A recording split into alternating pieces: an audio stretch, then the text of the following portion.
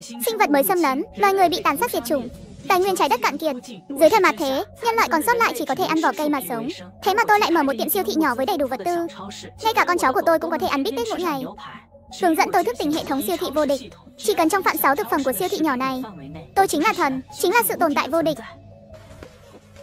Khốn kiếp, bọn mày ở bộ phận tình báo ăn hại gì vậy? Không phải nói chỉ có một tên sát lục giả sắp tới sao? Tại sao bây giờ lại là hai tên? Bây giờ chúng tôi cũng chỉ là vừa mới biết được.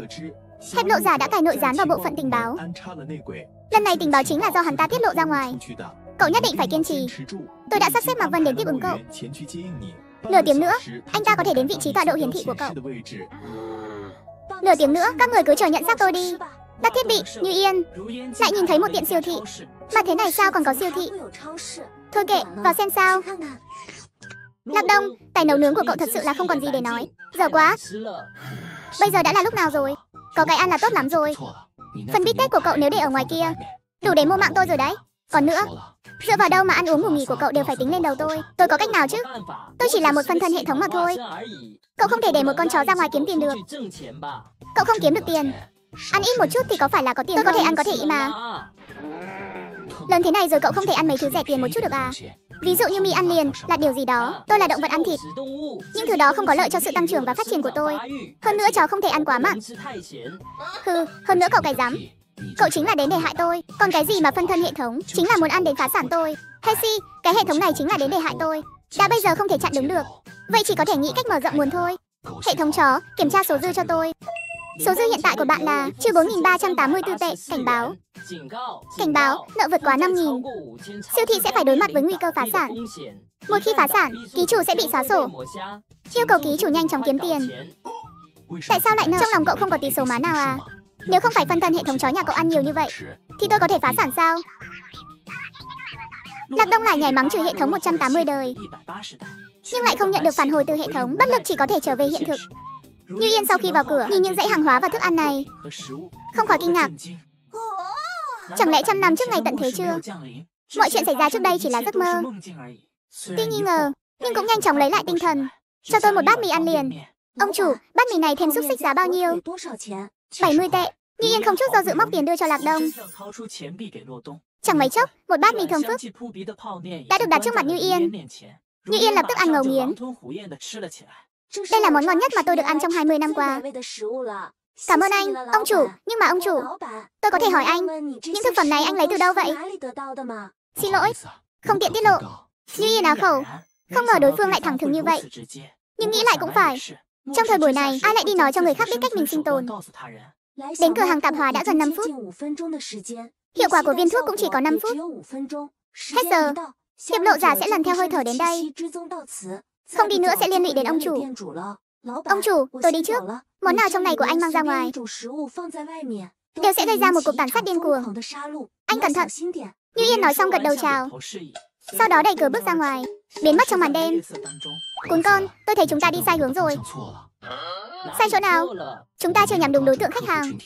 Những người nào giàu nhất thế giới này? Tất nhiên là đám người thức tỉnh rồi. Sai rồi, người bình thường trong thời buổi này, sống sót đã là một điều xa xỉ. Nhưng những người thức tỉnh thì khác. Họ giết kẻ thù có tiền thưởng. Đặc biệt là những người thức tỉnh cấp cao. Chắc chắn trên người tích lũy được không ít tiền. Không chỉ những thực phẩm này, chỉ cần là thứ hữu ích cho họ, chúng ta đều có thể biến thành tiền. Tôi nói rồi, căn bạn không cần phiền phức như vậy. Cả một người cướp một người. Dù sao trong phạm 60 mét vuông này, cho dù là thần, cũng phải quỳ xuống gọi tôi là bố. Doanh nhân thì phải có cách làm ăn lâu dài. Anh cướp mấy lần liền, đều dọa người ta chạy mất. Ai còn dám đến nữa? Hắc hắc, trừ khi người khác đánh cướp chúng ta, Sao tên hiệp lộ giả vừa rồi không động lòng nhỉ? Nếu hắn ra tay cướp đoạt, chúng ta có thể danh chính ngôn thuận lột sạch hắn. Anh ha, anh đang nghĩ gì vậy? Hiệp lộ giả thường là những người thức tỉnh bảo vệ thế giới này. Rất ít khi làm những chuyện hèn hạ này. Chỉ là hai tên hiệp lộ giả đang truy đuổi cô ta thì chưa chắc. Trong thời buổi này, người thức tỉnh chia làm hai phe. Một loại là hiệp pháp giả, loại còn lại là hiệp lộ giả. Hiệp lộ giả diệt chóc vì lòng tham, hiệp pháp giả chiến đấu vì sự bảo vệ. Chỉ khác một chữ, nhưng khác nhau một trời một vực từ lúc người phụ nữ bước vào cửa lạc đông đã nắm rõ mọi thông tin của cô ta như cầu gia đã nói chỉ cần trong phạm sáu của cửa hàng tạp hóa này anh ta chính là tồn tại vô địch biết tuốt vạn năng chẳng mấy chốc một người đàn ông mặc áo giáp màu xám bước vào chào mừng quý khách tên nhóc có thấy một người phụ nữ mặc áo khoác gió nào không có thấy Cô ta đi đâu rồi? Không biết, cô ta ăn một bát mì rồi đi rồi. Bát mì đó bao nhiêu tiền một bát? 50. Thêm xúc xích là 70. Vậy cho mỗi người chúng tôi một bát. Được, nhưng phải trả tiền trước. Hôm nay bọn tôi không mang tiền. Ngày mai sẽ đích thân mang đến cho cậu. Xin lỗi. Làm ăn nhỏ lẻ. Không bán chịu. Mày thật sự nghĩ tao đang bàn bạc với mày à? Không uống rượu mời thì phải uống rượu phạt cho mày 5 phút. Gói ghém hết chỗ này cho tao. Tuyệt quá, các người đến cướp à? Ha ha, các người đến cướp à? Nói nhảm với nó làm gì? Hôm nay tao không chỉ cướp hàng, mà còn cướp người. Còn con chó ngốc này nữa. Trông có vẻ không được thông minh lắm, cũng có thể xẻ thịt được mấy cân. Anh, muốn cướp đồ của tôi, thật là tự tìm đường chết. Ngươi, ngươi là người thức tỉnh. Chẳng lẽ không đúng à? Hai thanh niên mặc giáp đồng thời lùi lại. Muốn rời khỏi cửa hàng tạp hóa này, nhưng chưa kịp động thủ. Một luồng uy áp đột nhiên ập đến, bao trùm lấy căn phòng này. Khực ai bảo muốn ăn thịt ta? Còn muốn ăn thịt ta? Phi, cậu ra phát tài rồi. Tổng cộng thu hoạch được 1.430 tệ. Tôi đã nói rồi mà, kiếm tiền nào có nhanh bằng cướp tiền. Nhưng sao hai tên sát lục giả này lại giàu thế? Tên hiệp pháp giả vừa nãy, trên người còn không gom nổi 100 tệ. Khi ngày tận thế đến, thứ bị thử thách đầu tiên chính là nhân tính. Người lương thiện sẽ chiến đấu để sinh tồn, kẻ ác độc sẽ chỉ cướp bóc, diệt chóc. Không ngờ anh cũng có chính nghĩa đấy chứ. Chính nghĩa cái dám, tôi xử lý bọn họ là vì chúng muốn cướp đồ của tôi. Chủ yếu là chúng còn thèm thù mấy cân thịt chó trên người cậu nữa. Làm chó mà còn nhịn được, làm chủ sao tôi nhịn được? Cậu nói xem có nhịn được không? Cậu nói đi. Anh ha, không nhịn được. Sau này đều nghe cậu. Như Yên nhìn xuống thành phố dưới chân. Những tòa nhà cao tầng sáng đèn ngày nào kể từ khi sinh vật lạ xuất hiện đều biến thành đống đổ nát. Như Yên, cô sao rồi? Không sao chứ? Không sao, chỉ là vết thương nhỏ. Hai tên sát lục giả kia đâu? Tôi cũng thắc mắc sao chúng không đuổi theo. Lẽ ra chúng đã phát hiện ra vị trí của tôi rồi. Chẳng lẽ không ổn rồi? Chúng có thể đã lần theo dấu vết đến chỗ ông chủ rồi. Mạc Vân vừa định lên tiếng, nhưng đột nhiên anh ta phát hiện ra, tinh thần lực tỏa ra từ Như Yên khiến anh kinh ngạc. Như Yên, sao tình trạng của cô lại tốt như vậy? Không phải bị hai tên sát lục giả kia đuổi theo sao? Như Yên vội vàng kể lại tình hình vừa gặp phải cho anh ta nghe. Nhận ra có gì đó không ổn, hai người nhanh chóng chạy về phía cửa hàng tạp hóa. Chào mừng quý khách trở lại. Ông chủ, anh không sao chứ? Xem ra cô nhóc này cũng có lương tâm đấy. Ha ha, tôi có thể có chuyện gì được? Vừa nãy có hai người mặc áo giáp vào đây không? Có hai tên không biết điều. Chúng không làm gì anh chứ? Hai tên khốn đó, ăn cơm không trả tiền, còn muốn đem con chó ngốc của tôi đi làm lẩu. Ăn quỳ còn chưa nói, lại còn muốn ăn thịt con chó ngốc của tôi, tôi không nhịn được. Rồi sao nữa? Rồi bị tôi đuổi ra ngoài. Tất nhiên, tôi đây làm ăn nhỏ lẻ, tự nhiên không thể để chúng ăn quỵt được. Cuối cùng tôi bắt chúng để lại hai thứ. Đây chính là điều cấm kỵ của hiệp độ giả, bây giờ lại xuất hiện trên tay anh ta. Vậy chỉ có một khả năng, chúng đã bị ông chủ có vẻ ngoài hiền lành vô hại này xử lý rồi. Chẳng lẽ ông chủ cũng là người thức tỉnh, nhưng trên người lại không hề có chút dao động tinh thần lực nào. Thử anh ta một chút. Hả? Nể tình các người có thể quay lại cửa hàng tạp hóa này. Lần này tha cho các người một mạng, nếu còn có lần sau, ta bẻ gãy ba cái chân của các người. Ông, ông chủ, tôi, tôi không có ác ý, tôi chỉ thử một chút thôi. Anh có đói không?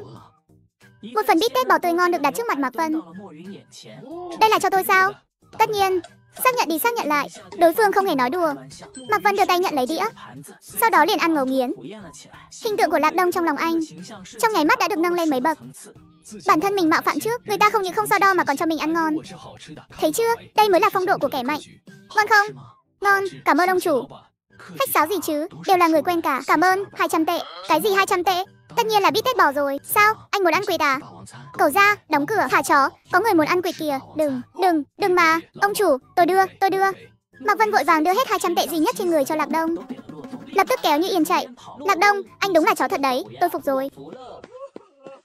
Đội trưởng, ông chủ là cảnh giới gì vậy? Người thức tỉnh là chiến cảnh sao? Tuyệt đối không chỉ là chiến cảnh, tôi đã gặp qua chiến cảnh rồi, nhưng chưa có ai có thể khiến tôi áp lực như ông chủ nhỏ Chẳng lẽ là cực cảnh? Không thể nào, thành phố không thể tồn tại cương giả cực cảnh được. Chúng ta hãy báo cáo mọi chuyện xảy ra hôm nay. Cho nơi trú ẩn. Để huấn luyện viên quyết định, cử một chiến cảnh hoặc là cực cảnh hiệp nếu có thể chiêu mộ được vào phe chúng ta thì tốt nhất. Nếu không được thì chỉ có thể. Chó nhà tôi ngày nào cũng được ăn bít tết bò 99 tệ, mà tôi mỗi ngày chỉ được ăn một bát mì. Chỉ vì tôi vô tình thức tỉnh hệ thống kinh doanh siêu thị. Mà con chó nhà tôi là do hóa thân hệ thống biến thành. Ngày nào cũng được cung cấp bít tết bò. Còn tôi lại vì kinh doanh không tốt. Trong thời buổi này không có ai ghé thăm, dẫn đến nợ nần chồng chất. Sắp phá sản rồi. Hiện tại tôi còn nợ hệ thống 2.684 tệ. Hàng hóa hiện có trong cửa hàng tạp hóa trị giá 3.100 tệ. Chỉ cần bán hết đồ trong cửa hàng tạp hóa là trả hết nợ. Nhưng vấn đề là làm sao để bán đây? Anh có thể ra ngoài giao bán mà. Cậu muốn tôi đi chịu chót à? Trong cửa hàng tạp hóa này tuy là tồn tại vô địch, nhưng một khi rời khỏi cửa hàng 10 mét vuông này, thì người thức tỉnh cấp thấp nhất cũng có thể diệt chết tôi. Đúng lúc này, một người đàn ông trung niên bước vào từ ngoài cửa. Chào mừng quý khách. Người thức tỉnh. Một tên tiểu thương nhân thôi. Ha ha, thương nhân sao có năng lực sống sót trong tay hai tên sát lục giả được. Mở cửa hàng mà, cũng phải có chút thủ đoạn bảo vệ bản thân chứ không ai cũng đến đây ăn quỵt tôi. Chẳng lẽ tôi phải đi uống gió Tây Bắc à? Có hứng thú gia nhập phe hiệp pháp giả không? Xin lỗi, không muốn. Chỉ cần cậu đồng ý gia nhập phe hiệp pháp giả, tôi đảm bảo cả đời này cậu sẽ được ăn ngon mặc đẹp và an toàn. Nói cứ như bây giờ tôi không có cơm ăn, hay là không có chỗ ngủ vậy, không gia nhập hiệp pháp giả, tôi vẫn có thể sống sung sướng. Cậu chắc chứ? Không suy nghĩ lại sao? Tôi chỉ là một thương nhân, ai có tiền tôi sẽ làm ăn với người đó. Nhiệm vụ bảo vệ thế giới cứ giao cho các người đi. Có tiền thì làm ăn với ai cũng được, ý là những thực phẩm này có thể bán cho họ. Cũng có thể bán cho phe hạ lộ. Đã như vậy, thì tôi đành phải mất lòng vậy. Ha ha anh định diệt tôi, hay là định trói tôi về? Này anh có biết không? Một ổ bánh mì có thể nâng trạng thái của một người sắp giác tỉnh lên đến đỉnh cao. Nếu để thực phẩm rơi vào tay phe hạ lộ, thì sẽ là một thảm họa. Tôi không diệt anh, nhưng mời ông chủ đến tị nạn sở một chuyến. Tôi có thể hiểu anh, nhưng anh chỉ có hai lựa chọn. Một là tôi ở trong tị nạn sở của các anh, hai là anh biến mất khỏi thế giới này. Huỳnh Trung Thạch giáo quan, sao anh biết thân phận của tôi? Tôi không chỉ biết tên và thân phận của anh, tôi còn biết các anh tình báo sai lầm. Gần đây đang vì chuyện này mà đau đầu. Không thể nào, không thể nào. Sao anh biết chuyện này? Sắc mặt Huỳnh Trung thời gần như điên cuồng.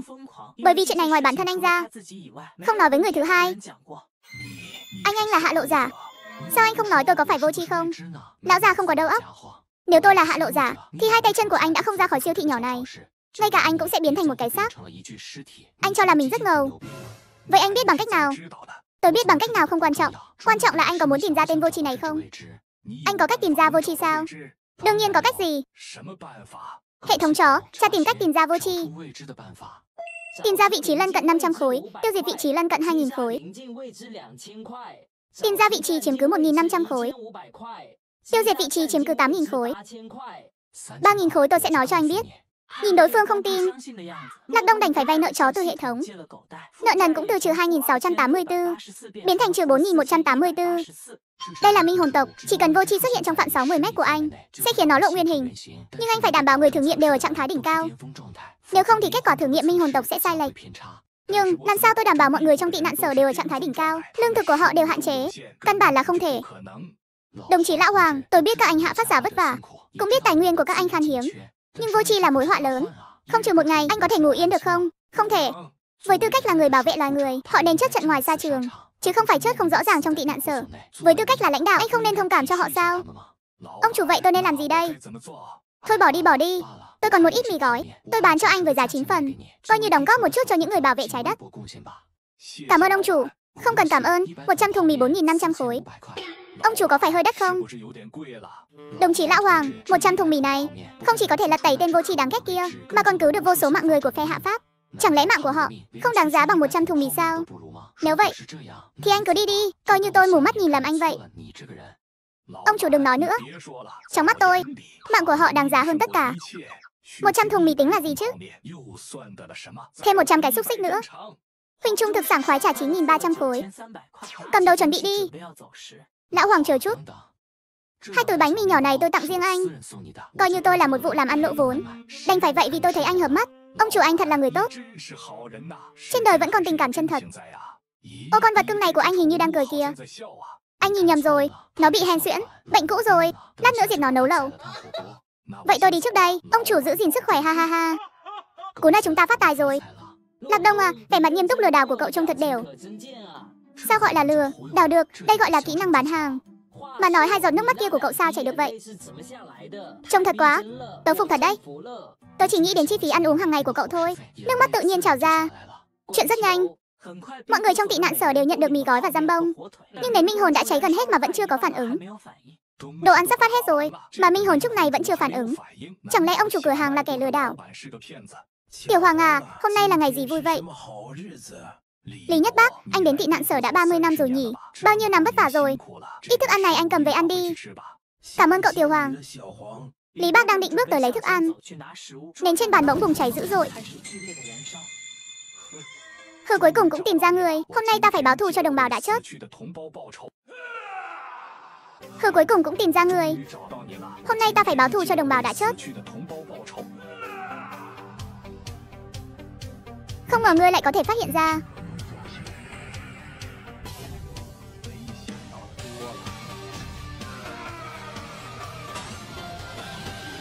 Kim nhị thập tam sư.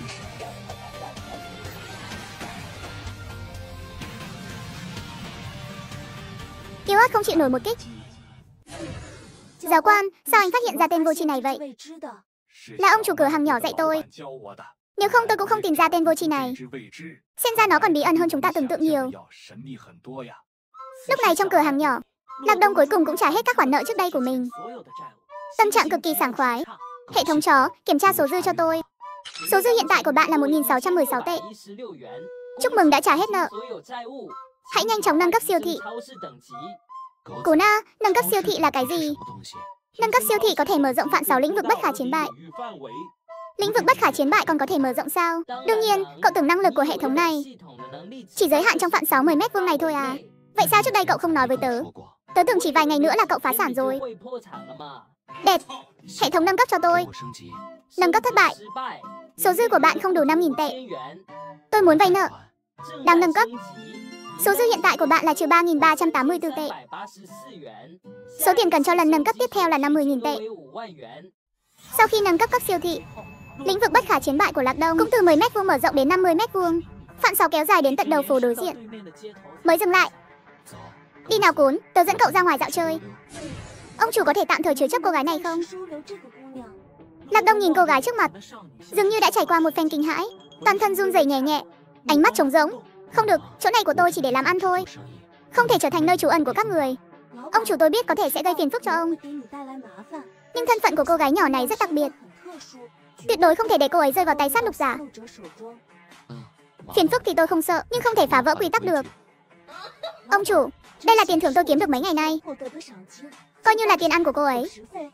Trước khi số tiền này dùng hết, cô ấy sẽ không thiếu một sợi lông. Sau khi nhận được câu trả lời của Lạc Đông, Như Yên nói một tiếng, bóng dáng vụt biến mất tại chỗ. Lạc Đông nhìn cô bé gái, ánh mắt thất thần, không hề lay động. Ngay sau đó ánh mắt lóe lên. Những cảnh tượng kinh hoàng trong nội tâm cô bé hiện ra từng cảnh trước mắt anh. Tiểu Tiểu, con chạy mau chạy mau đi. Ông nội đừng dọa con ông nội. Ông nội. Trong cơn tức giận, cô bé giác tỉnh. Hậu thể xuất hiện, trong nháy mắt đánh sát lục giả thành một đống mảnh vụn. Cảnh tượng này đúng lúc bị Mạc Văn Như Yên chạy tới nhìn thấy.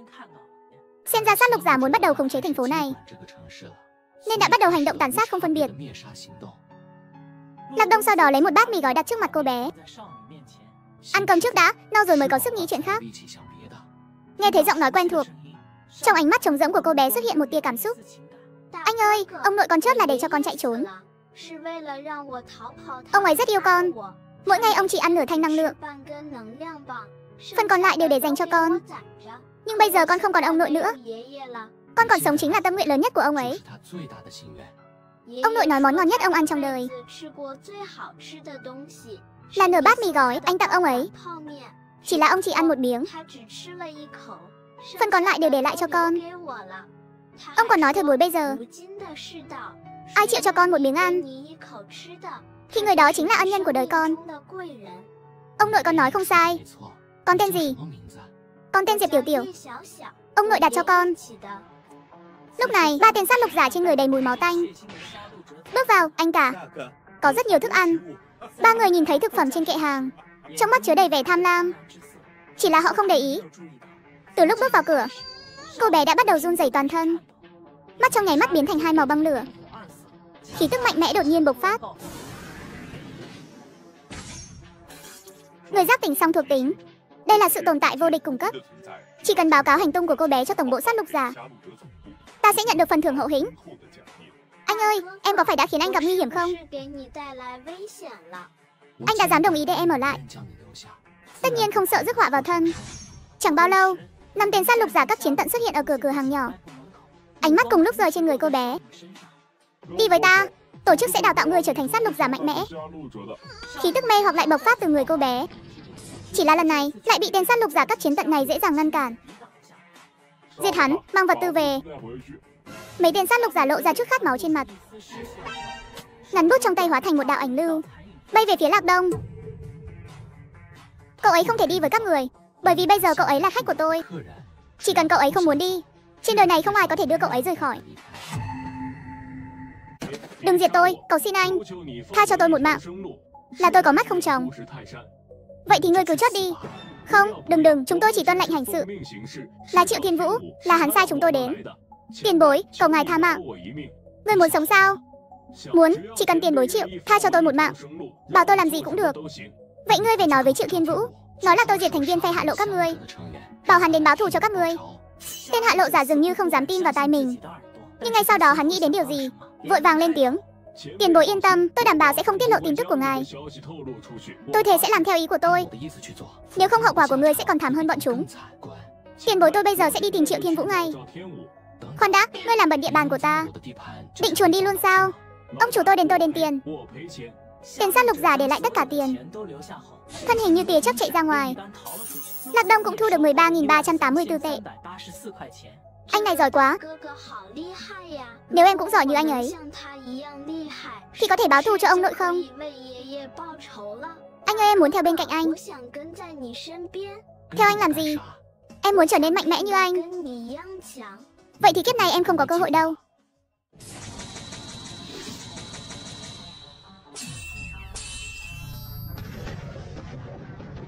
Vương Trung thời đừng cố gắng nữa Cùng là tịch tĩnh Chỉ cần có tôi ở đây Anh không thể đi được đâu Không ngờ đường đường giáo quan số một ngân thị triệu thiên vũ Cũng trở thành một con chó của vô tri Thì đã sao Ít nhất tôi không còn phải lo lắng một ngày nào đó sẽ chết đói trên đường Tên này cứ còn lấy mình không chịu chốt với tôi Chính là để tranh thủ thời gian cho sát lục giả Giờ đã qua một thời gian dài như vậy Kế hoạch thanh trừng vô tri có lẽ đã thành công rồi Gọi là gặp cao thủ thần bí chiếm cứ tiểu đội. Ngoài tôi ra toàn quân bị diệt. Tọa độ tôi đã gửi cho anh rồi. Hoàng Trung Sĩ, anh chơi trò âm hiểm. Thành phố này lại còn có một tịch tính nữa. Nói xong, Triệu Thiên Vũ vội vã chạy đến nơi có tọa độ. Để lại Hoàng Trung thực ngơ ngác. Chẳng lẽ tổng bộ phái người tới rồi? Không đúng, cho dù tổng bộ có phái người tới Nhanh nhất cũng phải mất hai ngày. Chẳng lẽ là ông chủ cửa hàng nhỏ? Triệu Thiên Vũ rất nhanh đã tới cửa hàng nhỏ. Nghi hoặc nhìn Lạc Đông. Hoan nghênh Quang Lâm. Là anh diệt bọn chúng sao? Bọn chúng vừa đến đã la hét đánh diệt. Tôi là người nhát gan, Vì an toàn bản thân. Tôi đành phải diệt bọn chúng trước. Đạo lý mà nói thì đây thuộc về phòng vệ chính đáng. Anh đến để báo thù cho bọn chúng à?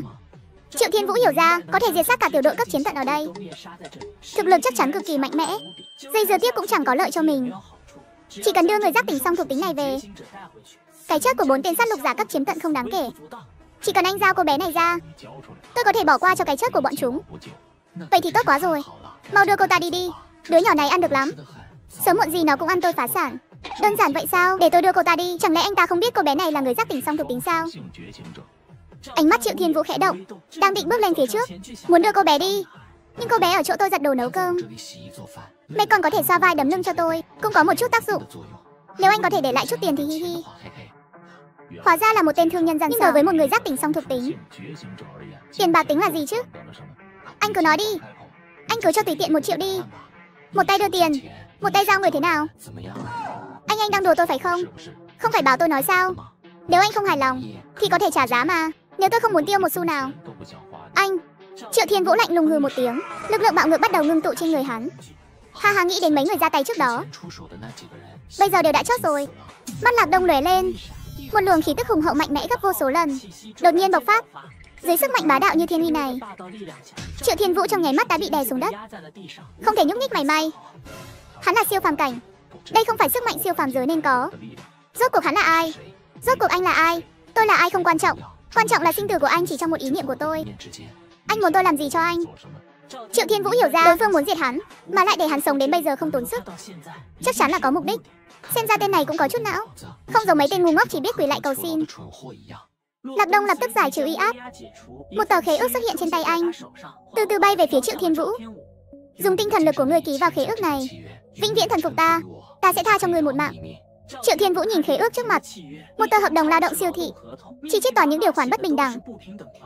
Sau đó bất đắc dĩ theo yêu cầu của Lạc Đông, ký tên mình lên khế ước. Rất tốt từ nay về sau, ngươi là nhân viên đầu tiên của cửa hàng nhỏ. Nghe theo sai bảo của ông chủ, ta biết trong lòng người rất không muốn, nhưng ngươi theo ta, đối với ngươi cũng không phải là chuyện xấu. Tiểu nhân không dám, chỉ cần ngươi có thể đạt được đủ nhiều công hiến, đừng nói một cơ cảnh nhỏ, thậm chí là thánh cảnh, ta cũng có thể để ngươi dễ dàng đạt tới. Thực lực của ông chủ mạnh đến mức khó tin vậy sao? Chẳng lẽ ông ấy thật sự là một cao thủ thánh cảnh? Ông chủ tôi thấy cửa hàng hơi bẩn. Để tôi dọn dẹp một chút. Triệu Thiên Vũ tìm thấy dụng cụ dọn dẹp từ góc nhà. Thân ảnh nhanh chóng lướt qua trong cửa hàng nhỏ, bận rộn một cách gọn gàng. Lúc này Hoàng Trung Thực cũng đuổi theo. Triệu Thiên Vũ, tôi liều mạng với anh. Hoàng Trung Thạch trong nháy mắt đã tới, con dao trong tay thuận thế chém xuống. Nhưng đột nhiên, một luồng uy áp mạnh mẽ xuất hiện trong cửa hàng nhỏ, lập tức làm vỡ nát con dao trong tay Hoàng Trung Thạch. Thanh đao này là thần khí, được chế tạo từ vật liệu đặc chế của trận danh hạ phát giả. Ngay cả cường giả siêu phàm cảnh cũng không thể để lại một chút dấu vết trên nó. Ông chủ rốt cuộc là cảnh giới gì? Đồng chí Lão Hoàng, tuy chúng ta quen biết, nhưng trong cửa hàng nhỏ cấm động thủ. Ông chủ, hắn là hạ lộ giả. Trước đây hắn là, nhưng bây giờ hắn chỉ là một nhân viên của tôi. Ông chủ, hạ lộ giả bản tính tàn bạo. Ông giữ hắn lại, sau này nhất định là mối họa. Hắn nói anh là mối họa. Triệu Thiên Vũ tuyệt đối trung thành với ông chủ. Nếu không thì để tinh thần tôi hủy diệt, thể xác tan vỡ mà chết. Anh thấy hắn còn thể động nữa kìa. Hoàng Trung thời tuy không biết vì sao, nhưng Triệu Thiên Vũ không thể động được nữa. Nghĩ đến những đội viên đã chết trận, trong lòng anh đau buồn vô hạn. Lão Hoàng tôi hiểu anh đang nghĩ gì. Thật ra kẻ hại chết những người bình thường và thuộc hạ của anh, không phải là sát lục giả, không phải họ thì là ai. Lúc đó, người giác tỉnh cùng một trận doanh, nhưng cuối cùng tại sao lại chia rẽ? Bởi vì chó không thể thay đổi thói quen ăn phân ha ha. Trận danh người giác tỉnh sẽ sinh ra phân liệt. Là bởi vì lương thực đã không đủ cung cấp cho sự tiêu hao khổng lồ như vậy. Mọi người đều đang vật lộn trong cơn đói. Một bộ phận người vì sinh tồn và thức ăn Tự nhiên sẽ bất đắc dĩ gia nhập hàng ngũ vô tri. Hôm nay cho dù diệt hắn Ngày mai vẫn sẽ có Vương Thiên Vũ, Lý Thiên Vũ. Vậy tôi sẽ diệt hết bọn chúng. Chúc mừng, vô tri cũng nghĩ như vậy Mục đích của vô tri chính là dùng tổn thất chiến đấu thấp nhất để xóa sổ loài người. Ở thế giới này, chúng lấy thức ăn làm mồi nhử, thu nạp những kẻ đang đói khát vào dưới trướng. Chính là để các người tự tàn sát lẫn nhau. Từ khi tận thế giáng xuống, các người đã diệt bao nhiêu hạ lộ giả, lại tổn thất bao nhiêu hạ pháp giả. Nhưng vô tri thì sao? Các người đã tiêu diệt được bao nhiêu? Kết cục đều là người với người tự đánh nhau thôi. Hoàng Trung Sĩ trong lòng khó hiểu dấy lên một tia hàn ý. Anh chưa bao giờ nghĩ đến vấn đề này. Nhưng cho dù như vậy, chúng tôi cũng không có năng lực ngăn cản. Chưa nói đến thực lực mạnh mẽ khó lường của vô tri. Năng lực ẩn tàng cường đại trên người chúng đã khiến chúng tôi không biết từ đâu ra tay. Hai anh tìm không ra chúng, không có nghĩa là tôi tìm không ra chúng. Các đồng đội đồng bào, hôm nay chúng ta sẽ đi tiêu diệt tên vị trí dị thủ đáng ghét kia. Tôi không thể đảm bảo các bạn sẽ trở về an toàn. Các bạn có sợ không? Không sợ không sợ. Tại sao lại không sợ? Vì đất nước chúng ta, không sợ là không sợ. Tốt, mọi người đều là những nam nhi tốt của Hoa Hạ. Tất cả đều có. Hãy đi theo tôi, xuất phát.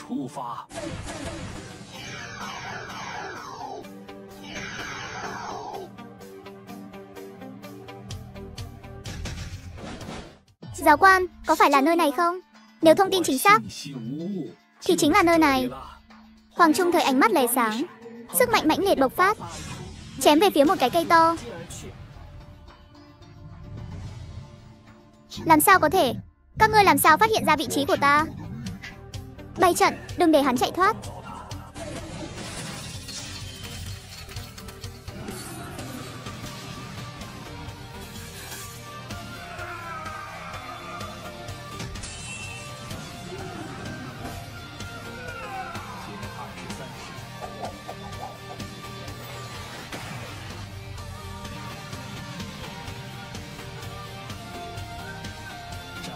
Chót trên trời. Chúng ta cuối cùng đã báo thù cho các người. Các người hãy ăn nghỉ đi. Với sự giúp đỡ của tiểu lão bản, Giác tỉnh giả cuối cùng đã có lần phản kích đầu tiên. Tất cả mọi người đều như nhìn thấy hy vọng. Lúc này tổng bộ phái đội trưởng đội chiến đấu cơ động Bạch Hạo đến. Hoàng Trung thực đâu? Lập tức gọi anh ấy đến gặp tôi. Hoàng giáo quan mấy ngày trước đã đến tổng bộ. Tôi nghe nói các anh phát hiện một giác tỉnh giả song thuộc tính.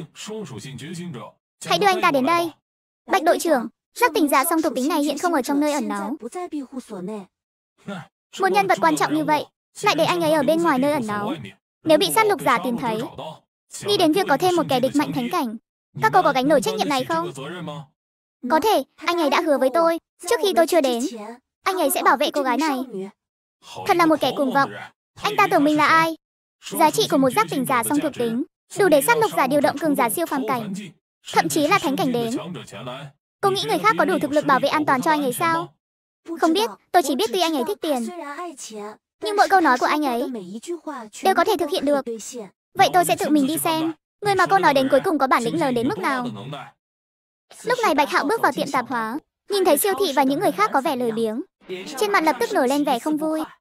Diệp Tiểu Tiểu, ngươi, trách nhiệm của giác tỉnh giả song thuộc tính là gia nhập sát phạt giả, chứ không phải ở đây ăn bám chờ chết. Anh là ai chứ? Tôi nên làm gì không nên làm gì? Đến lượt anh quản tôi sao? Tôi còn nhỏ, tính khí cũng không nhỏ. Đợi đến khi cô đến trận danh sát phạt giả, sẽ hiểu mình nên làm gì. Đem cô ấy đi. Mấy tên chiến cảnh đội viên gật gật đầu. Đang định bước về phía Diệp Tiểu Tiểu. Nhưng lại không thể nhúc nhích chút nào. Là ngươi, ngươi có ý gì đây? Vừa vào cửa đã muốn bắt em gái tôi. Ai cho anh gan như vậy? Tôi khuyên anh đừng xen vào chuyện bao đồng. Anh tưởng anh là ai?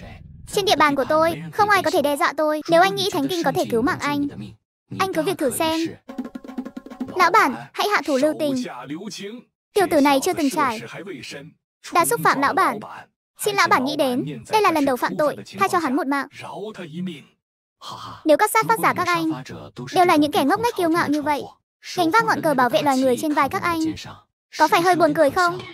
Bạch Hảo chết tiệt. Anh làm trò gì vậy? Cực cảnh thì ghê gớm lắm sao? Có một tam thúc siêu phàm cảnh thì đáng tự hào lắm. Trước mặt lão bản, tam thúc của anh dám phun ra cái dám nào? Lão tử đều coi hắn là anh hùng hảo hán. Lão bản bớt giận. Người trẻ tuổi nóng này, chưa từng trải qua thất bại. Tôi thay hắn xin lỗi lão bản. Nói xong, Hoàng Trung Sĩ cúi đầu thật sâu. Lạc đồng nét mặt dịu đi. Lời lão Hoàng nói hắn vẫn thích nghe. Tâm niệm khẽ động, ngay lập tức Bạch Hảo từ trên không rơi xuống. Ngươi, ngươi dám diệt ta? Bạch Hảo chưa nói hết câu, Hoàng Trung Thời trực tiếp tát vào mặt.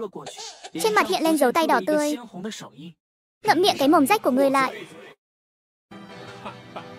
Ta tự cười với trời cao. Đi ở lại gan mật hai côn lôn. Đến đi, hôm nay dù phải chết, ta cũng phải bảo vệ lão bản. Rất tốt, ta quyết định đồng lõa với hắn. Vậy ta sẽ lấy tội phản quân diệt luôn ngươi. Cấm kỵ tiềm long phá quật.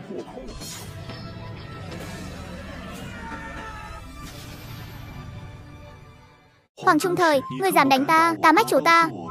Nhất định bảo ông ấy diện ngươi. Ta đang cứu ngươi đấy. Nếu ngươi không muốn chết, tốt nhất nên cầm miệng. Cảm ơn lão bản hạ thủ lưu tình. Về sau ta nhất định sẽ dạy dỗ nó cho tốt. Đợi đã, ta chỉ vì mặt mũi của ngươi tha cho nó một mạng. Nhưng không có nói nó có thể rời khỏi đây. Ngươi cứ tùy tiện bồi thường 100 nghìn đi. Ngươi nói sao, tiểu tiểu? Đại ca ca, em tưởng sẽ không gặp lại anh nữa. Sau này em biết làm sao đây? Em không muốn rời xa anh. Hai tên này chẳng lẽ là anh em thất lạc nhiều năm sao? Lão bản nói đúng, chỉ bằng thế này, tôi sẽ xin tổng bộ bồi thường. Phí tổn thương tinh thần cho lệnh lại. Ngài xem thế nào? Tốt, vậy ngươi mau đi mau về. Tiểu tiểu, tôi thấy em ở bên cạnh lão bản thích hợp hơn. Cảm ơn chị. Lão bản, anh thật đẹp trai. Nói xong hai người liền quay người biến mất trong màn đêm. Hắn vừa rồi có phải đang trêu chọc ta không? Tăng giá, nhất định phải tăng giá. Lần sau hắn đến mua đồ, nhất định phải tăng giá 20%. Tên cha nam này thật xúc sinh. La Đông nhìn tên ngốc dưới đất đang ngơ ngác. Vậy tay ném vào không gian. Tất cả tập hợp. Bây giờ đã đến lúc để hai người gặp nhị đương gia của các ngươi rồi.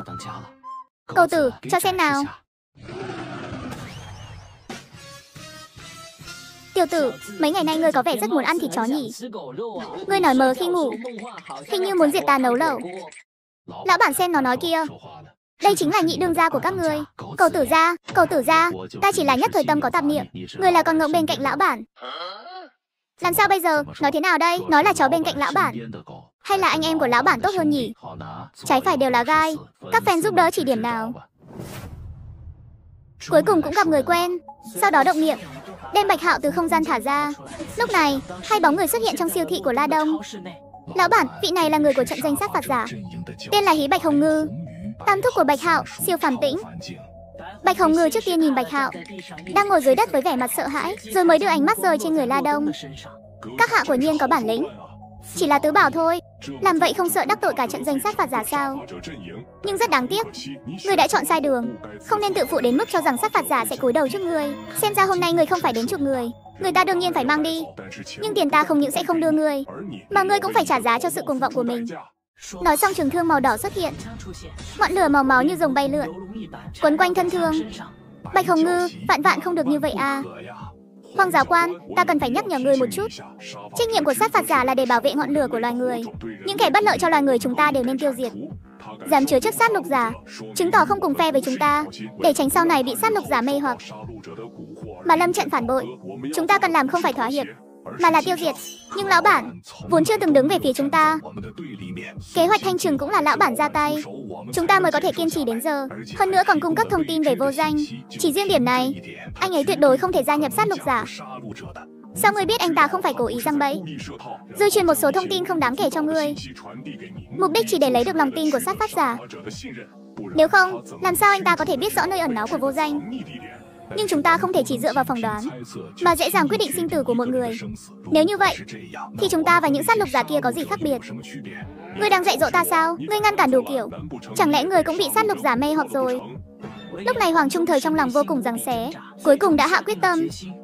Nếu ngươi nhất định phải diệt anh ấy, thì hãy bước qua xác của ta trước đã. Lão bản ti tham tài, nhưng chưa từng làm một việc gì tổn hại sát phạt giả. Thậm chí còn giúp ta thủ thành thành công lại cung cấp tin tức giúp tiêu diệt hai tên vô danh. Loại chuyện vong ân phụ nghĩa này, ta Hoàng Trung thời tuyệt đối không làm nổi. Ta tự cười với trời cao. Máu chảy gan mật hai côn lôn. Đến đi, hôm nay dù phải chết, ta cũng phải bảo vệ lão bản. Rất tốt, ta quyết định đồng loại với hắn. Vậy ta sẽ lấy tội phản quân diệt luôn ngươi. Cấm kỵ tiềm long phá khấu,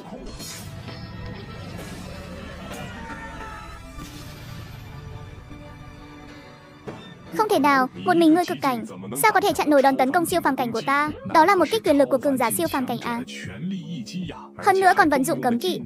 Cho dù mời người ta buộc lại với nhau, cũng tuyệt đối là kết quả trước ngay tức khắc à. Sao lại chặn được? Chẳng lẽ là tiểu lão bản? Ta đã nói trên thế giới này, không ai dám động thủ trong tiểu mai điếm của ta. Huống chi là người tên dị loại này. Ta không hiểu ngươi đang nói gì. Ta đường đường là giáo tập 24 của sát pháp giả. Ngươi dám nói ta là dị loại. Ngươi không phải sợ ta gia nhập sát lục giả nên ra tay với ta. Ngược lại, ép ta gia nhập sát lục giả mới là mục đích của ngươi lần này. Ta nói đúng không? Toàn là nói bậy.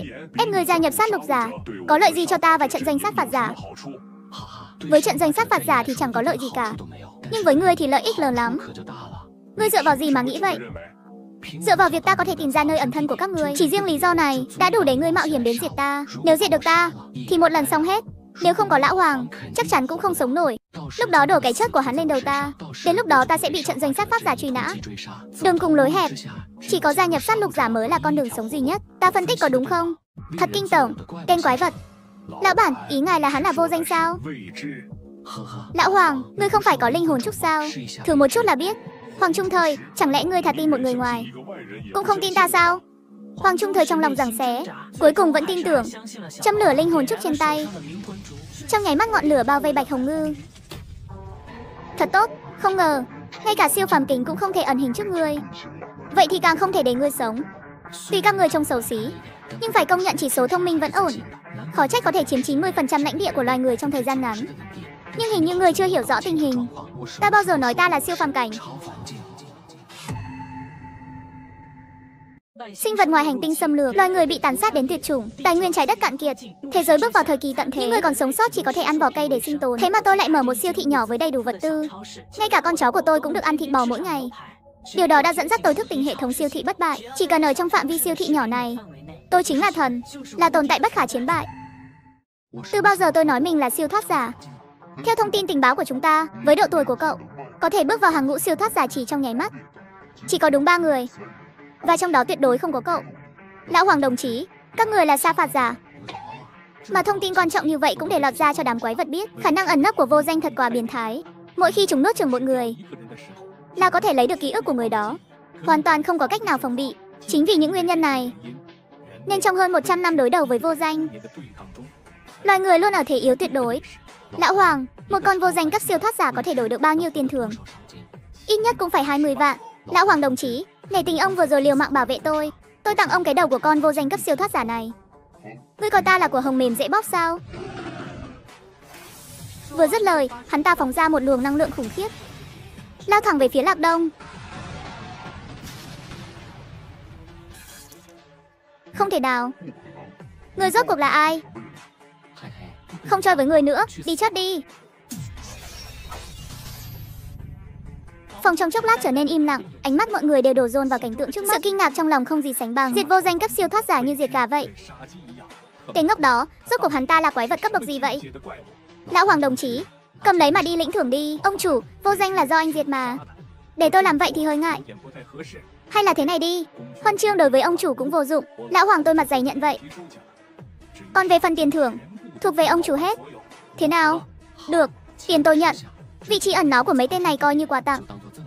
Tặng miễn phí cho ông. Ông chủ, anh thật tốt bụng. Cảm ơn ông chủ. Vậy còn tên kia, nể mặt ông. Hôm nay tôi tha cho hắn một mạng. Hoàng, Hoàng ca, ông chủ rốt cuộc là cường giả cấp bậc gì vậy? Thời lực của ông chủ không phải là thứ chúng ta có thể đoán được. Ngươi phải nhớ kỹ một điều, bất kể lúc nào cũng không được kết đoàn với ông chủ. Hiểu chưa? Tôi nhớ rồi, Hoàng ca, vậy quan hệ giữa anh và ông chủ là gì? Tôi và ông chủ xưng huynh gọi đệ. Quả nhiên là một cường giả có thể dễ dàng tiêu diệt siêu thoát giả. Ai cũng phải nể mặt sao? Hoàng ca, tôi quyết định rồi. Tôi muốn ở lại căn cứ Lan Thị lâu dài, cùng anh kề vai chiến đấu. Lúc này, Lạc Đông đang nhìn tấm thẻ vàng lấy được từ người tên vô danh. Bên trong có đến 17 vạn. Cộng thêm cây thương vừa rồi rơi ra. Thu hoạch thật phong phú, hệ thống chó chất, nâng cấp cho ta. Nâng cấp thành công, phạm vi lĩnh vực mở rộng thêm 1 km. Thường 1 giờ bất bại thời khắc. Số tiền cần thiết để nâng cấp lần sau là 30 vạn. Nâng cao khả năng chiến đấu, xem ra lĩnh vực bất bại càng về sau hiệu quả tăng càng lớn. Còn có cái thẻ bất bại này nữa, tức là trong vòng một tiếng đồng hồ, cho dù ra khỏi phạm vi lĩnh vực bất bại, cũng không cần phải sợ bất kỳ ai nữa. Lúc này, trước cổng căn cứ, đang đứng đầy mấy chục thành viên của đội sa phạt. Ai nấy đều mang vẻ mặt nghiêm trọng. Hoàng ca, sao anh biết kế hoạch thanh trường lại diễn ra vào hôm nay? Nếu đám đồ tể đó có thể cài gián điệp vào chúng ta, thì chúng ta cũng có thể cài nội gián vào chúng. Theo nguồn tin đáng tin cậy, 10 giờ tối nay chính là thời điểm bắt đầu kế hoạch thanh trừng. Hoàng huấn luyện viên, anh có biết lực lượng đối phương như thế nào không? Có thể biết được thời gian của kế hoạch thanh trừng. Đã là vô cùng khó khăn rồi. Còn về việc đối phương sẽ huy động bao nhiêu người, tạm thời vẫn chưa thể thăm dò được. Lời nói của Hoàng Trung Thời khiến cho mọi người đều trùng lòng. Kẻ địch đang ở trong tối, còn chúng ta ở ngoài sáng, khiến cho bọn họ đều bị bao phủ bởi một áp lực vô hình. Anh em, tôi biết trong lòng mọi người đều có áp lực. Tôi cũng vậy. Nhưng sau lưng chúng ta là đồng bào của chúng ta. Là anh em, chị em của chúng ta. Cũng là hy vọng cuối cùng của nhân loại chúng ta. Bất kể trận chiến hôm nay có gian khổ đến đâu, chúng ta cũng nhất định phải đứng ra bảo vệ họ. Trước khi 60 sư đoàn đến, nếu Hoàng Trung thời ta lùi bước, thì các người hãy dùng đao trong tay chém đầu ta xuống. Treo trên cổng thành cho thối giữa. Bởi vì nó sẽ không được chôn cất trên mảnh đất thần châu này. Lúc này giọng nói của ông như trung lớn, như một cây bố tạ giáng thẳng vào lòng tất cả mọi người. Bao gồm cả Bạch Hạo, tất cả các thành viên của đội sa phạt. Trong mắt đều chứa đầy lửa giận. Khi thế trên người cũng bắt đầu dâng trào. Ngươi cho rằng nâng cao sĩ khí của bọn chúng lên đến đỉnh điểm Thì có thể cản được đại cục của đám đồ tể chúng ta sao Ngươi nói xong chưa Nếu chưa Ta có thể cho ngươi thêm vài phút nữa Ít nói nhảm Tiền thưởng của ngươi Bản thiếu gia ta muốn định rồi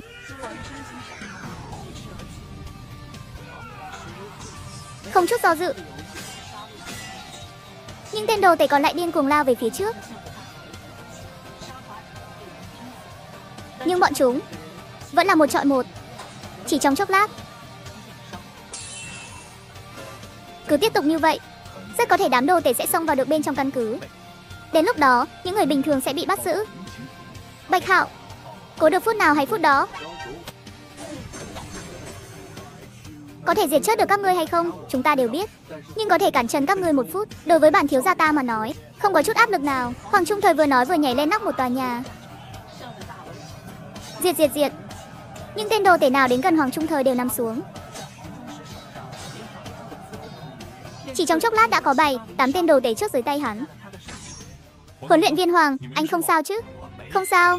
Đột nhiên Hoàng Trung Thời cảm nhận được sát ý, theo bản năng nhanh chóng né tránh, nhưng vẫn bị một nhát chém sâu hoắm đến tận xương. Ngươi làm cái gì vậy? Giáo quan, ngài không sao chứ? Không sao.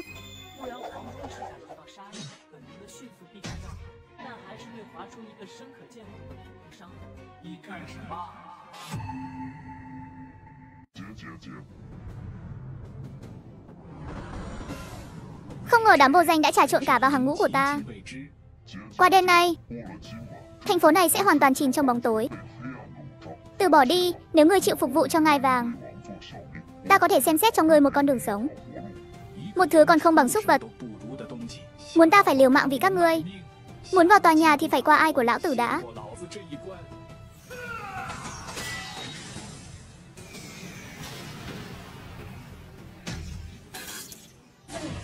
Giáo quan, ngài thế nào rồi? Kế hoạch trấn áp lần này chúng ta không giữ nổi rồi.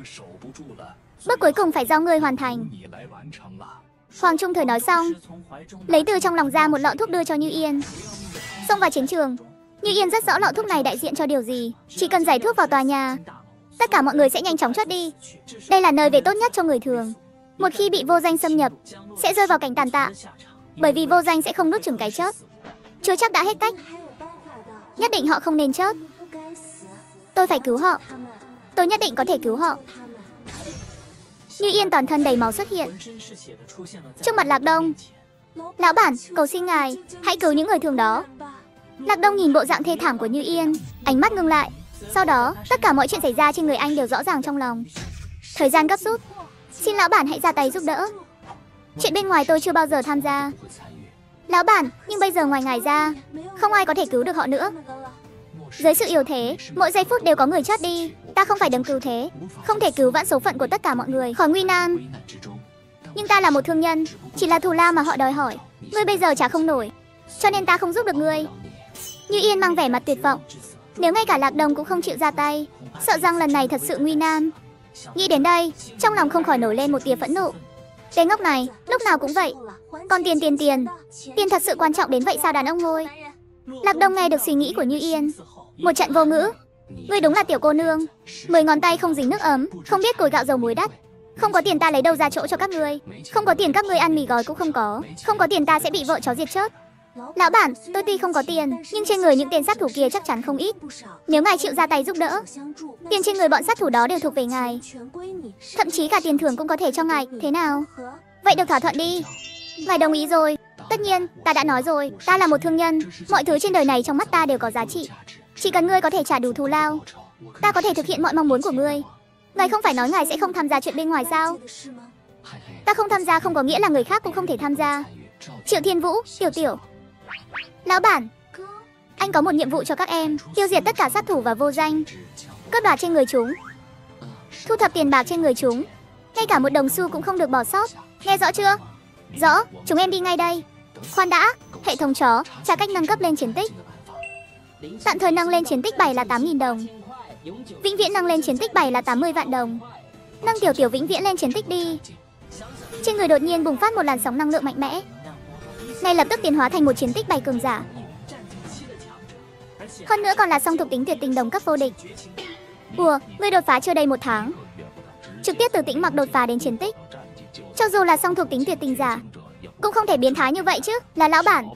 Nhất định là lão bản. Triệu Thiên Vũ nhìn chằm chằm vào Lạc Đông với ánh mắt nóng bỏng. Trong mắt anh, Lạc Đông đã là một sự tồn tại vô sở bất năng. Hệ thống chó, trả cách đột phá đến siêu phàm cảnh. Tạm thời nâng lên siêu phàm cảnh là 150 ngàn. Vĩnh viễn nâng lên siêu phàm cảnh là 1 triệu 500 ngàn. Thôi bỏ đi, mua không nổi, trả cách hạ sát tức tiến. Phương pháp hạ sát tức tiến, phương pháp hạ sát tức tiến. Tổng cộng có 32,842 loại. Tương ứng là dừng dừng, lấy cái rẻ nhất. Tiền khí thanh hồn kiếm nhận có thể tích trữ ba đạo kiếm khí. Dưới siêu phàm cảnh, một kích tất sát, mỗi đạo kiếm khí 15,0 đồng. Tốt, lấy nó đi, nạp đầy kiếm khí vào thanh kiếm này. Ta để lại ba đạo kiếm khí. Chỉ cần cảnh giới đối phương chưa đạt tới siêu phàm cảnh, vung tay có thể diệt. Các ngươi lần đầu thay mặt ta ra ngoài, tuyệt đối không được làm mất thể diện của ta. Đúng như câu nói nhà nghèo phải giàu đường, ta có thể ăn mì gói hàng ngày, nhưng thể diện nhất định phải giữ. Diệt mấy tên nhóc, mà cũng tốn sức vậy. Sau này ai còn dám tìm ta làm ăn lớn nữa? Nếu không phải hệ thống hạn chế Không thể chủ động tham gia mọi việc bên ngoài Trừ phi đối phương ra tay trước. Nhưng cơ hội như vậy rốt cuộc vẫn quá ít. Rất nhanh Triệu Thiên Vũ và Tiểu Tiểu cùng Như Yên rời đi. Vương ca Em chịu không nổi bao lâu nữa Làm sao đây? Hoàng Trung Thời dường như không nghe thấy tiếng kêu của Bạch Hạo. Đôi mắt đã đỏ ngầu một mảnh. Ý thức cũng trở nên mơ hồ.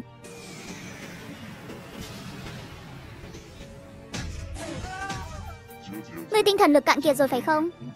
Ta đã nói rồi, đêm nay, thành phố này chắc chắn sẽ mãi mãi chìm trong bóng tối. Bất kể ai đến cũng không cứu được ngươi đâu.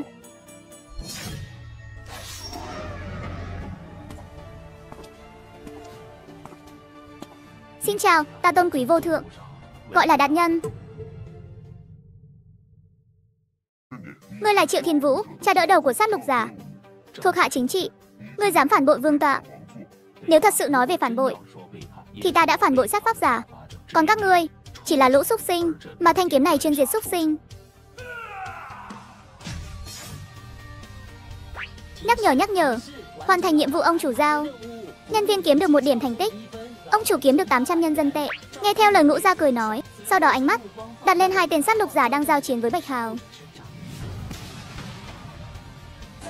Triệu Thiên Vũ, người dám động thủ với vị chi đại nhân. Ngươi sống chán rồi phải không? À, không chỉ là hắn. Ngay cả các người cũng không thể sống sót rời khỏi đây Chỉ bằng ngươi, cho dù hai ta có bị thương. Nhưng nếu chúng ta muốn đi Ngươi nghĩ ngươi có thể giữ chúng ta lại sao? Sau khi trở về, ta nhất định sẽ tâu với uy trị đại nhân. Ngươi cứ đợi đón nhận sự truy sát của đại quân vị chi đi. Không trở về được đâu. Bạch Hào, ngươi nghỉ ngơi trước đi Để ta giải quyết bọn chúng. Đối chiến với hai tên cấp tiến đã khiến Bạch Hào kiệt sức. Gật gật đầu Nhanh chóng lóe sang một bên. Thanh kiếm vân tiện trên người hắn có chút kỳ lạ. Ta cảm nhận được một tia khí tức nguy hiểm. Đừng cứng đối cứng với hắn. Chỉ cần giữ chân hắn một lúc, Tòa nhà chắc chắn sẽ bị công phá. Kế hoạch thanh trừng vẫn có thể hoàn thành. Một khi thanh trừng xong những người bình thường đó, Chúng ta có thể toàn thân rút lui. Xông vào tòa nhà cho ta. Tốc chiến tốc thắng. Nghe thấy mệnh lệnh, Những tên sát lục giả phía trước. Điên cuồng phát động đợt tấn công cuối cùng vào tòa nhà. Cuối cùng rốt cuộc cũng phá vỡ tuyến phòng thủ cuối. Thành công đến trước cửa tòa nhà.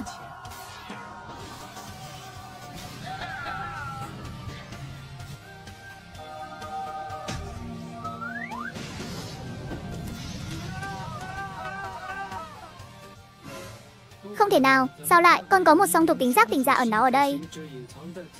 Đây chính là sự tồn tại vô địch đồng cơ. Có thiếu nữ này ở đây, trừ phi lại đến một cấp tiến sát lục giả nữa. Nếu không thì cho dù đến 100 tên chiến tích cũng sẽ là kết cục tương tự. Các người không thoát đâu. Nhắc nhở hoàn thành nhiệm vụ ông chủ giao. Nhân viên kiếm được 2 điểm thành tích. Ông chủ kiếm được 1.600 nhân dân tệ. Cùng với hai tên, các tiến sát lục giả cuối cùng, kế hoạch sinh tử thanh trường một lần nữa tuyên bố thất bại. Không sao chứ, ngàn vạn lần đừng chết nhé. Nhà đầu, đừng lắc nữa được không? Cô lắc thêm nữa thì tôi thật sự sống không nổi mất. Triệu Thiên Vũ, dù thế nào đi nữa, lần này vẫn phải cảm ơn ngươi.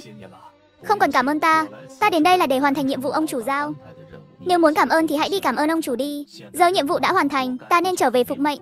Triệu Thiên Vũ và Tiểu Tiểu không ở lại lâu hơn. Xoay người đi về phía cửa hàng tạp hóa. Chúng em đã về rồi. Ông chủ, đây là lấy được từ trên người tịch tính sát lục giả. Có hơn 200 nghìn. Còn em nữa. Nói xong, liền lấy hết số tiền kiếm được ra khỏi không gian. Lạc Đông vung tay. Tất cả tiền trên đất bay vào không gian của anh. Kiểm tra lại, một trận kích động, hai người này ra ngoài một chuyến đã mang về cho mình 400.000 thu nhập, vốn còn hy vọng vị trí của lão hoàng lĩnh thưởng, bây giờ không cần đợi nữa, hệ thống chó nâng cấp lĩnh vực. Nâng cấp thành công, phạm vi lĩnh vực tăng lên 30 km. Phần thưởng vô địch thời khắc 3 giờ. Số dư hiện tại của ngài là 151.534 nhân dân tệ. Số tiền cần cho lần nâng cấp tiếp theo là 2 triệu nhân dân tệ. Xin hãy nhanh chóng kiếm tiền. Biết rồi biết rồi. Sau khi thoát khỏi hệ thống, thân thế của Lạc Đông điên cuồng lan tỏa ra xung quanh. Trong phạm vi 30 km, cỏ cây đều nằm trong một niệm của anh. Ồ, ở đây à? Đồng chí Hoàng Trung thời bị thương nặng nhỉ? Đây không phải là con bé như Yên sao? Khưa thế này không ngủ, đi loanh quanh làm gì? Phi lễ vật thị, tôi tuy không phải quân tử gì, nhưng việc gì người khác tắm, tôi làm không nổi. Lạc Đông lập tức rút thần thạch ra, liền thấy mắt cầu tử đang tỏa sáng. Anh làm gì đấy? Mày làm gì thế? Tôi tôi ngắm phong cảnh không được à? Phong cảnh thế nào? Đẹp không? Phong cảnh rất tròn, cũng rất trắng ơ, ý tôi là màn đêm rất dài. Phong cảnh rất đẹp. Ờ anh tin không? Mày nói xem. Lạc Đông mặt lạnh, trực tiếp cắt đứt liên lạc của cậu ra với nơi ẩn náu. Đáng tiếc, chỉ thiếu một chút nữa là nhìn thấy rồi. Mấy ngày sau, Hoàng Trung Thời và Bạch Hào bước vào. Ồ, đồng chí Lão Hoàng đã khỏe lại rồi à? Quả nhiên không giấu được ông chủ điều gì. Nhiệm mệnh thúc đã truyền đạt từ sáng sớm. Nhờ phúc của ông chủ được thăng chức giáo tập.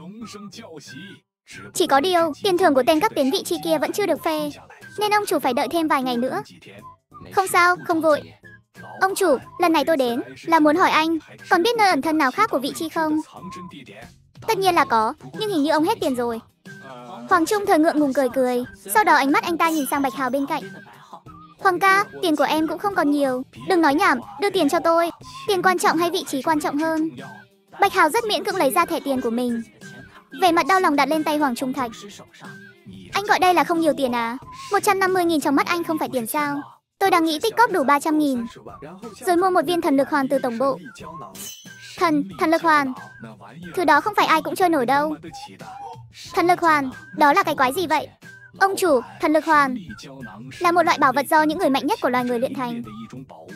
Có xác suất có thể nâng cao cảnh giới của bản thân. Nhưng những thứ này đều là đồ chơi của tài pháp giả. Tôi nghe nói công tử nhà Vương nhờ vào thần lực hoàn đã từ lâm cận đột phá đến siêu phàm cảnh. Tốn hơn 50 triệu. Đệt, hơn 50 triệu cơ à. Tôi dùng hệ thống bồi dưỡng một giác tình giả siêu phàm cảnh. Nhiều nhất không quá 2 triệu. Đây chính là một cơ hội làm ăn. Đã tỷ lệ thấp như vậy, lại đắt đỏ mà tại sao còn muốn thử?